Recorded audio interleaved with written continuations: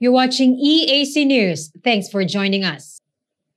After seven months of delay, Prime Minister Hun Sen has finally inaugurated the new building of the Ministry of Land Management, Urban Planning and Construction. The new building is located in Phnom Penh's Sen Sok district. The inauguration was originally scheduled last April, but due to COVID-19, it did not happen. The Prime Minister says that he is glad to finally inaugurate the new building of the ministry amid the COVID-19 pandemic. He has said that this is just one of the ministries that are waiting for inauguration. On 29 December, the Prime Minister will also inaugurate the Ministry of Defense. It was in January this year when he announced to conduct the official inauguration ceremony of the new building of the Ministry of Land Management.